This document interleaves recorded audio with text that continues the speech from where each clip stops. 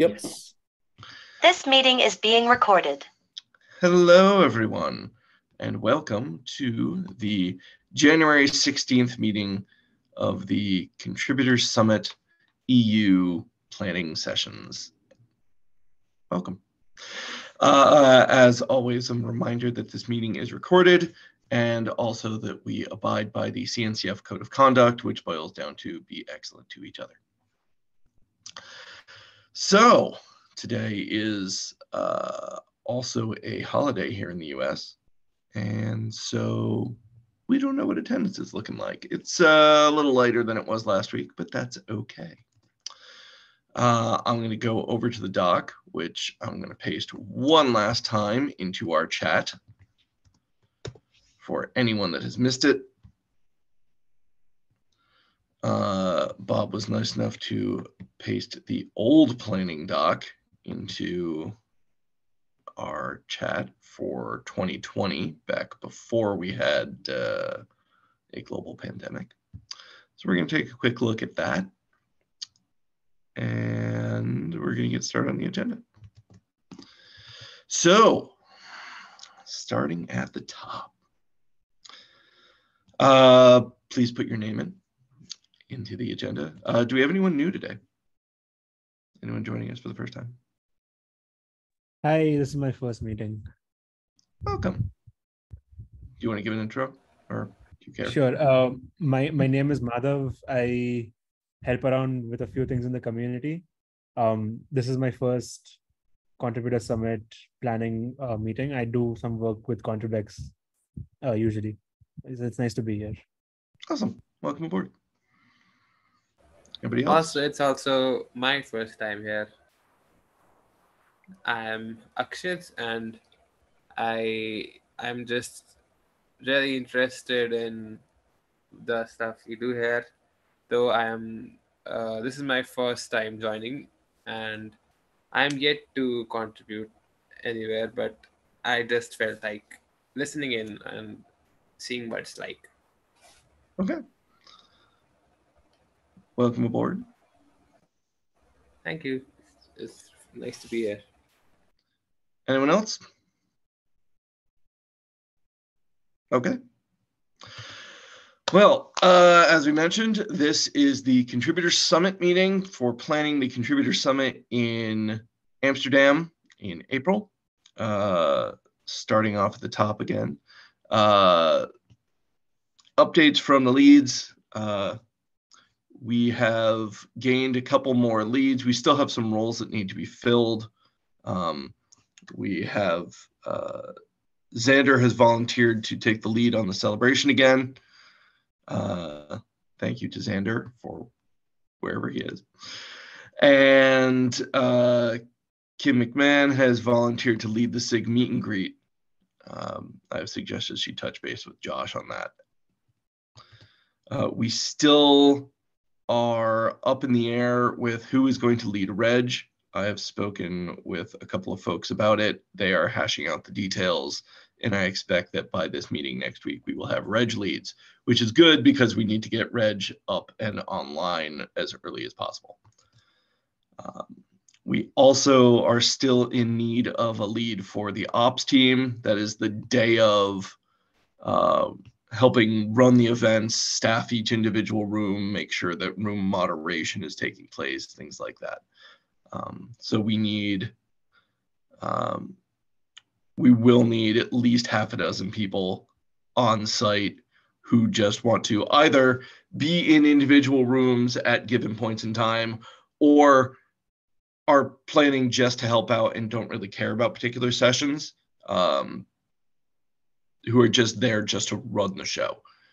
Um, last year that was me. Uh, so anybody that wants to do it talk to me. I will help you figure that out.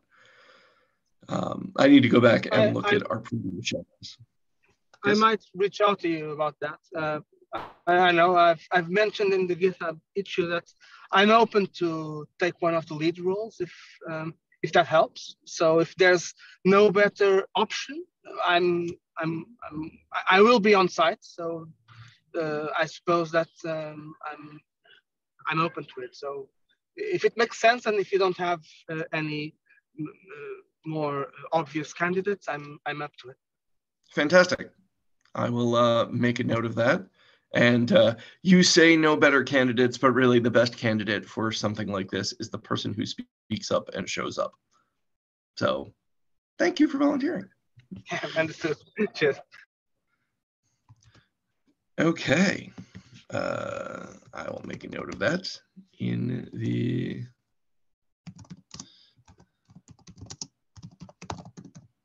in the document.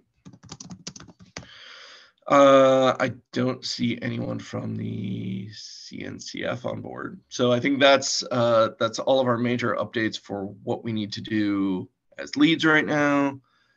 Uh, I don't see anyone from the CNCF on the call. Uh, brings us over to next agenda item is content. Jason, got anything to say? Um, not particularly. I'm working on getting confirmation from all the folks that uh, volunteered as shadows in the issue.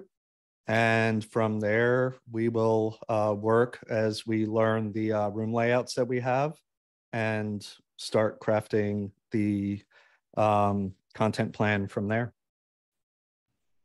Yeah. So from the schedule that Bob posted from last time, we have one main room, two side rooms, plus a separate room for SIG talks, as it looks like. Yeah, I was looking at that. There's a general session room. There's the two uh, SIG meet and greet rooms, an unconference room, and the doc sprint room. Uh, Oh, I yeah, just wanted another to get room additionally. Yeah. And I wanted to get uh, confirmation that that was still the case post pandemic, in in case plans had changed around that. Yeah, it theoretically should be that, um, but yeah, a DM to Deb or Brienne can confirm it. All right, great. I'll go ahead and reach out for that. I expect they'll put together a single doc with all the newest information, uh, which also leads to another um, another point of order. Last time around, we had a umbrella issue on GitHub that had been put together by the CNCF. Uh, we don't have that right now. We're just operating up from the meetings and the shared Google Doc. Um, I guess one of us should probably poke the CNCF and see if they want to do that or if we should do it. What's in that issue?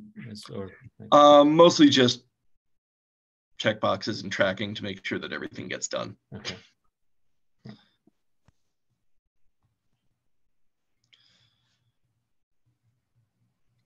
Good. So content, waiting for room confirmation, waiting for shadow confirmation. Okay. Um,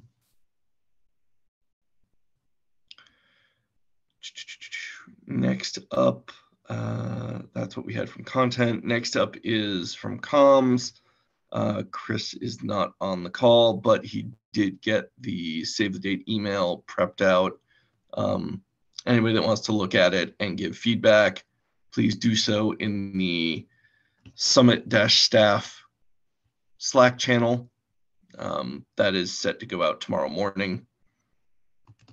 And the website is up uh, k8s.dev slash summit.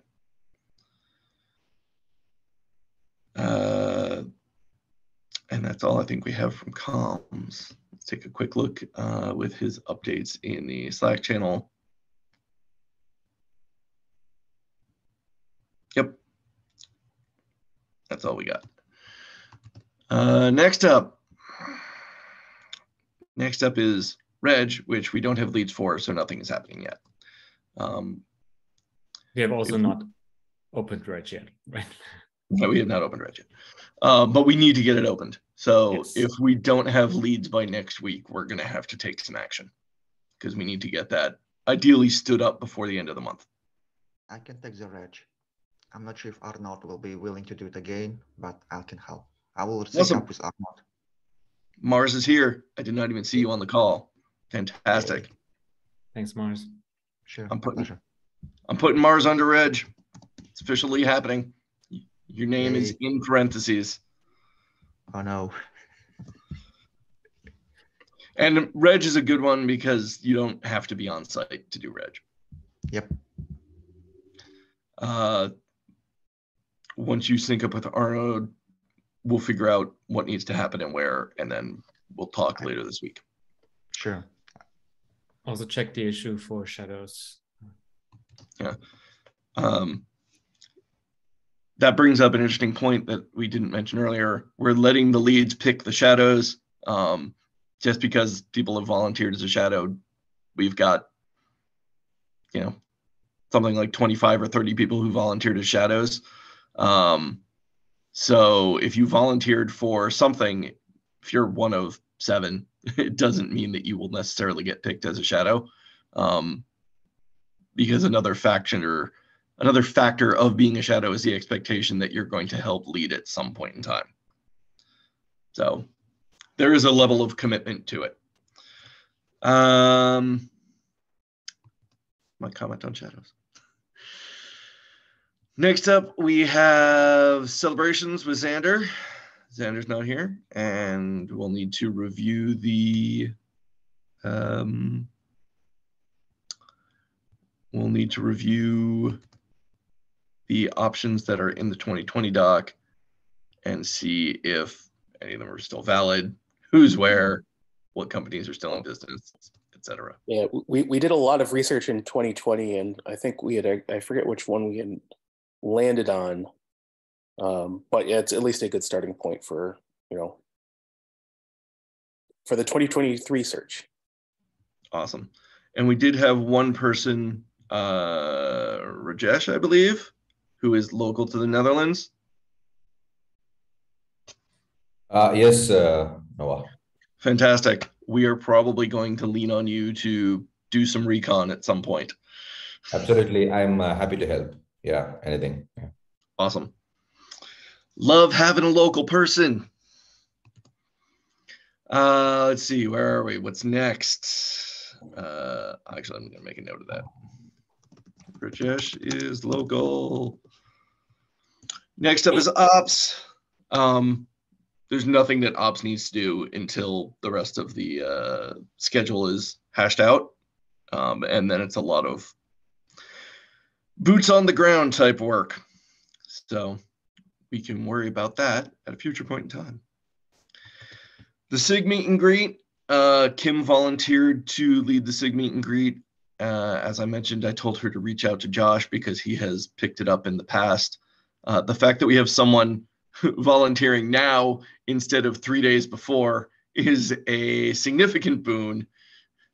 Uh, and hopefully we can get a lot more done with that effort. Um, let's see what else we got next in the list. There's a note from Bob. Status of KCSNA 22 awards. What you got? So um, I don't know if you all remember, but we got the wrong awards shipped to uh, the contributor summit. Uh, they were all like January 1st, you know, whatever. And like the vendor said that like they would just like ship things out to the, the people that were getting them.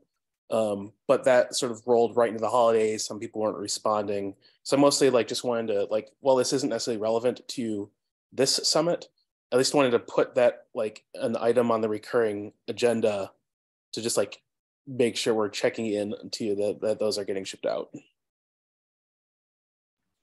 That's good. That's good. I like it.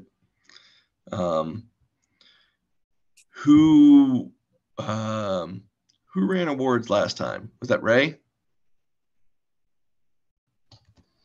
It was Ray, Jay, and me. Mostly Awesome. Ray. Okay. Then uh, we'll touch base with Ray to make sure we get the list and ask the award winners. Uh, Yeah. Uh, Deb and Brienne were working with, I believe, Ray and Nabarun on it. Um, again, it, it just kind of holidays. it happens, uh, but we can we can make a bullet point to follow up on that. Yeah. Awesome. Thank you, Bob. Uh, the only other thing that I have left uh, is that you know summits are closer than they appear, and since we only have about three months before this summit happens, we need to start a discussion on shirts and or hoodies and or whatever we're going to give out to the attendees. We already got that from 2020. So the Nice. design is already done. It- They're already printed. Like Oh, fantastic. we, we had to, to cancel. Josh did all the artwork. Um, we literally had to cancel, you know, like less than a month before Amsterdam just because of, of the way things were. So the the only thing that might happen is depending on reg numbers, we might have to order some additional sizes. Okay. Fantastic. Uh, who has them? Uh, the CNCF does. Um, they're with um, Drew and the the group that you know travels to Yeah. every yeah um, every keep Okay. It's for both uh, staff and non-staff. Um, Slack? I don't recall if we had a thing at signified staff versus non-staff in those ones. Okay. We'll probably worry about the staff identifiers separately. Okay. Uh, but this is this is to worry about. Everybody that shows up should be getting a shirt or something. There were T-shirts, correct? Yep. Okay. Were the the long sleeves or something? Uh, I I, I I don't remember. I'd have to go back and and Something nice. yeah if when if when Josh shows up, you know he can pull up all the old artwork. Fantastic. Uh, that brings us to the end of our agenda list. That's a short call. Does anybody have anything they would like to say?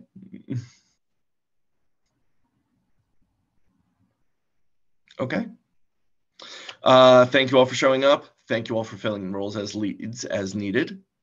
And oh, Bob pasted in the chat what we picked in 2022, so we'll check out that. Yeah, that one's actually the social Bob, is it? yeah, Yeah. that was Mhm. the social location. It was literally a one minute walk from the convention center. Oh, that's fantastic. That is a bit. Hope it's still open. Yeah, but they, they have like it's a it was a restaurant slash like just bar chill place they had like fire pits to just hang out and talk at and things like that Perfect.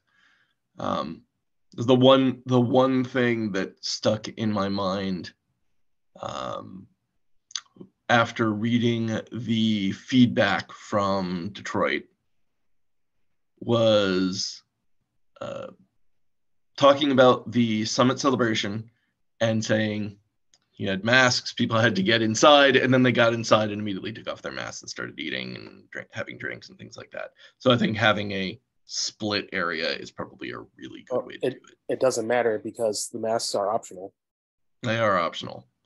and we can't enforce a difference because it's the Yeah. Policy that's the enforcing thing It's true. Uh, but I think for those who want them, um, having a split area is going to appease everyone.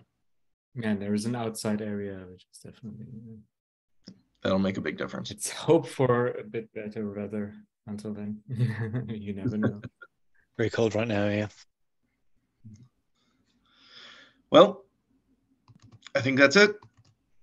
Uh, going once, going twice. Stopping recording.